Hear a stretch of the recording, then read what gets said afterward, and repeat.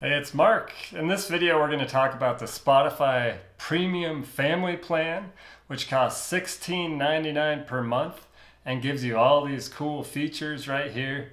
You get uh, six members of your family that can be on the plan. You can download things. You get audiobooks, which I'll show you. Stick around at the end, some of the cool benefits of that and how you can save money.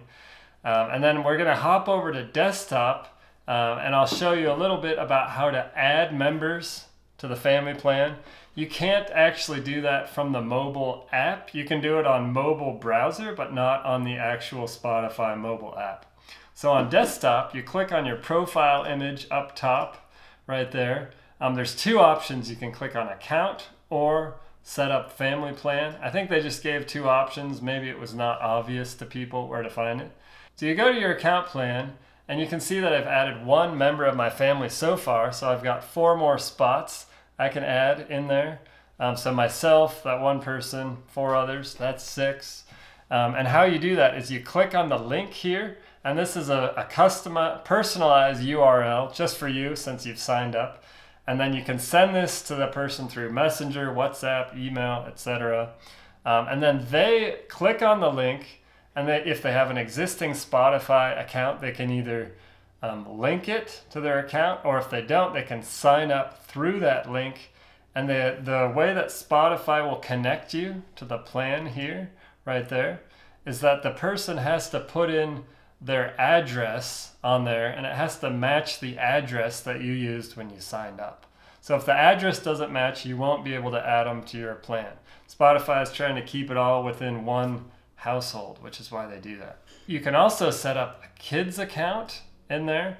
This is a little bit different. This is a newer thing from Spotify. So if you have younger kids and you want to control the content that they're able to see, you can create a password on their app, on their device, and then you can, you know, restrict it to certain artists, certain types of videos. There's all sorts of settings we'll show you in another video. So that's how you can add a member to the family plan.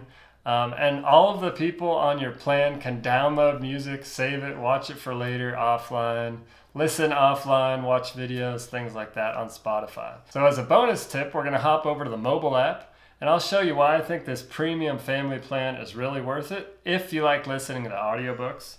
So if you click in your library, for example, I've saved an audiobook that I'm planning to listen to, Elon Musk's biography by Walter Isaacson. It's like 20 hours long, so it's pretty intimidating, which is why I haven't listened to it yet. But you get 15 hours of listening time included per month with your plan.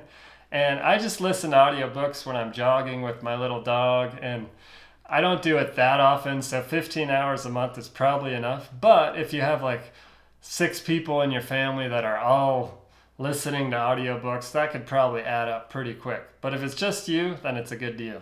Because I listen to Audible um, right now, which is the Amazon product. I pay at least 10 bucks a month for that.